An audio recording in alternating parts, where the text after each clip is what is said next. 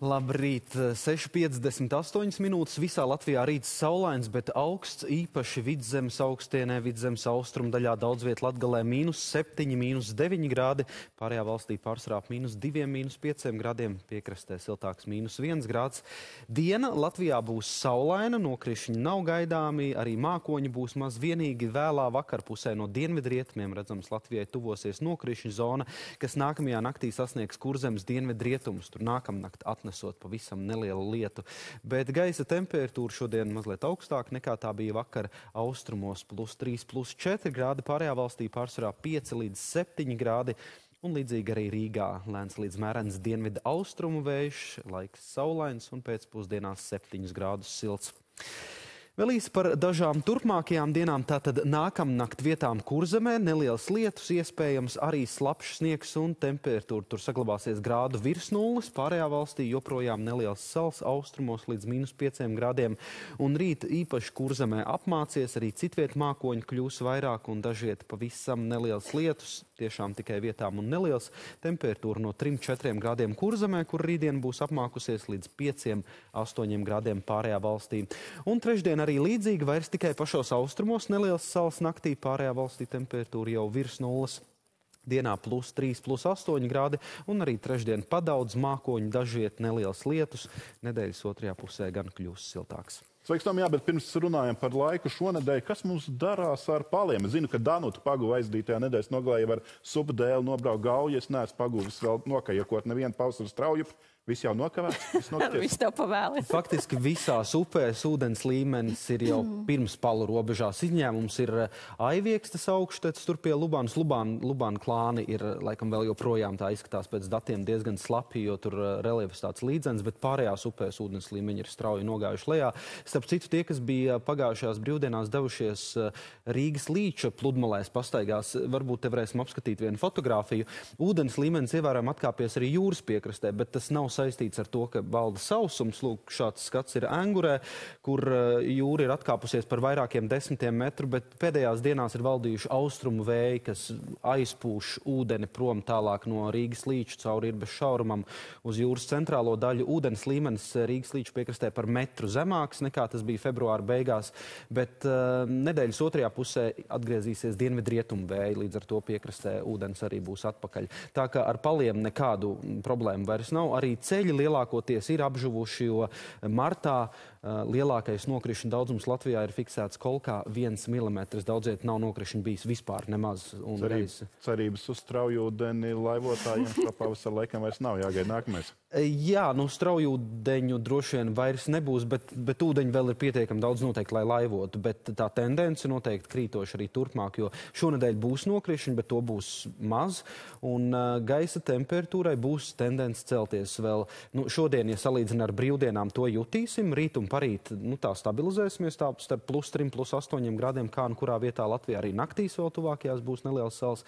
Bet tās lielās izmaiņas būs no ceturtdienas kad uh, tos dienvidu austrumu vējus nomainīs uh, dienvidu rietumu vēju, pie mums ienāks mitra, silta gaisa masa, sals nebūs vairs arī naktīs, uh, nedēļas nogalē naktīs plus 3, plus 8 grādi, dienās 7, 13 grādi. Nu, izskatās, ka zemgalē, Latgales dienvidos piekdiena, sestdiena varētu būt pat pirmie plus 15 grādi, tā ka ļoti silts laiks. Vidējai temperatūrai diennakts arī pakāpjoties virs 5 grādiem sāksies uh, aktīvās veģetācijas periods, proti sāks parādīties kaut kur jau kāds zaļums. Es gan eh, jau kopš eh, šķiet februāra vidus saņemu ziņas par sniegpulksteņiem. Arī pēdējās nedēļās arī visbuļi ir šur tur kurzemē sākuši ziedēt, bet tie tādi ekstrēmāki gadījumi. Eh, nedēļas otrajā pusē sāksies tāda vispārīga dabas zaļošana. Un, uh, tas gan nenozīmē, ka mums uh, nu, pavasaris ieslēdzas tādā pilnībā. Es pieļauju tomēr, ka vēl marta beigās, aprīlī, ko sauc par atziemu, var parādīties. Tā kā vēl sniegs, sals kādā brīdī būs, bet mēs ejam ļoti strauji uh, uz priekšu uh, tādā ātr, nu, lielākā ātrumā nekā parasti, jo šeit mēs apskatīsim video arī no pagājušā gada. Man liekas, kolēģe Ilze arī jau pagājušā nedēļā rādīja. Šis ir 8. marts pagājušajā gadā. Jā, viņa rādīja 8. martā, un es sabijos, vai tiešām kaut kur tas ir, nu, man liekas, ka šogad. nē, nē, nē, bet pēc tam arī ap šiem datumiem, 10. un 12. martu pagājušā gadā nāca vēl viens sniegputenis, un tieši 11. marta rītā, piemēram, Cēs apkaimē vidējais sniega biezums bija 54 cm. Šobrīd vienlaidu sniega segas Latvijas meteoroloģisko novērājumu stacijās nav. Nu, dažviet alūksnes augstienē, mežos, kādos uh, laukos vēl saglabājas sniegs, bet nu, mēs esam krietni gājuši ātrāk uz priekšu pavasarī nekā citus gadus. Tad skaidrs, ka no ceturtdienas līdz pat nedēļas nogalē gaidām tiešām ārkārtīgi fēnu siltu laiku. Jā, bet, bet gribēju vēl piebilst, ka mm. tur būs mākoņi un lietus. Nā, nu, tas nebūs, nebūs, jā, jā. tas nebūs tas saulainais pavasaris, kāds bija, piemēram, vakar un būs šodien. Būs silts, bet nu, kādā brīdī nedaudz lietus var parādīties. Jā. Bet vēl kāda tēma, ko jāizterzā ar tevi par Latvijas vidas un uh, ģeoloģijas un meteoroloģijas centru, to, kad gatavojas mainīt meteoroloģisko brīdinājumu sistēmu. Kādas tad ir tās galvenās izmaiņas, kas mums jāzina? Tās izmaiņas no vienas puses ir būtiskas, bet es teiktu, ka Latvijas televīzijas, arī Latvijas radio un LSM skatītājus, klausītājus tas daudz neietekmēs, jo mēs jau līdz šim, tad, kad nāk kādas bīstamas laikapstākļu parādības, skaidrojam ar kolēģiem, kāda būs ietekme, ko tieši, kā mēs sajutīsim šīs bīstamās laikapstākļu pārmaiņas, kādi ir riski lielākie, bet arī Latvijas vidas geoloģijas un meteoroloģijas centrs tagad vairs tik stingri nepieturēsies pie tā uzsniks tik centimetru sniega, tātad oranžais brīdinājums vai sarkanais būs tik stiprs vējš, tātad sarkanā līmeņa brīdinājums. Tas viņi tiešām arī vērtēs, kāda ietekme ir no šiem laikapstākļiem. Ļoti spilgts piemērs, piemēram, pagājušajā rudenī, oktobrī uznāca pirmā rudens vētra, kad vēl bija lapas kokos. Un vēja ātrums nebija ārkārtēji liels, bet postījumi bija daudz vairāk nekā tad, kad kokos lapu nav. Un uh, vēl viņi kā piemēru minēja, ka situācijās, ja piemēram oktobrī uznāk pirmais sniegs 3-4 cm darba dienas rītā. Uh, viņi tādās situācijās brīdinājumu izplatīs, bet, ja 3-4 cm sniega uzsniega februārī, tad, protams, ka visi sen ir pieraduši. Turklāt oktobrī nav pat obligātas ziemas riepas automašīnām. Cilvēki nav pieraduši braukt sniega apstākļos.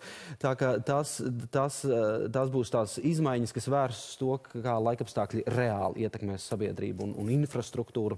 Bet vēl viena izmaiņa ir, ka parādīsies jauni parametri, par ko brīdina. Eh, piemēram, līdz šim, kas bija ļoti dīvaini, bet kaut kā vēsturiski tā bija sanācis, ka par salnām nebrīdināja. Ja maijā uznāk nu, tāda krietna salna ar mīnus 3, mīnus 5 grādiem, ka daudziem zemniekiem jau sezonas sākumā raža ir nosalusi un viss, nu, faktiski sezona ir beigusies. Par šādām lietām nebrīdināja. Turpmāk šajā brīdinājuma sistēmā ir ietverti tātad eh, jauni parametri par salnām brīdinās, par sausumu brīdinās, kad gaidāms ilgstošs sausums sausums, kas arī ietekmē, ietekmē ražu, un par ultravioleto starojumu, par ko gan mēs arī ziņās bieži stāstam. Ja ir prognozes, ka vasarā ultravioletais starojums gaidāms ļoti augsts, tad brīdinājums eh, turpmāk būs izteiktāks un vairāk manāms un dzirdams.